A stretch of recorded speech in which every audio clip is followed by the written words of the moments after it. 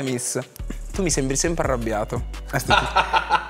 quando comunichi nei social, quando rispondi alle domande, quando... Anche a me. E la cosa che non, mi cap- che non capisco è...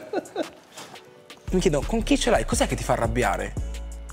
Ma in realtà io penso che questa impressione, allora in parte può essere veritiera, nel senso che effettivamente a volte mi girano le palle per certe cose, no? tipo le polemiche che si alzano a volte, allora lì mi girano le balle. Però ti dico in realtà nella maggior parte dei casi è un po' il mio modo, no? Sì. un po' quel, quel- quel modo di comunicare che ho creato. E ti dico, al di là poi del marketing così, è un po' anche il modo in cui sono nella vita. Più volte mi viene detto perché mi parli con questi toni e mi dico ma che toni? E come ho detto più volte io sono cresciuto in una casa dove comunque fondamentalmente tutti si gridavano addosso. Ok. No, questo non in senso da film drammatico, nel senso che mia mamma, la famiglia di mia mamma erano tutti, insomma, conta palermitani, no? quindi già toni di voci alti, sempre dialetto in casa, no? molta, molta caciara.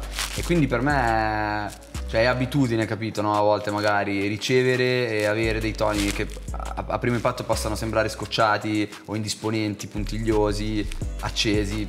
Io ti giuro che spesso non mi rendo conto di questa cosa. Forse dovrei fare un lavoro su me stesso a sto punto.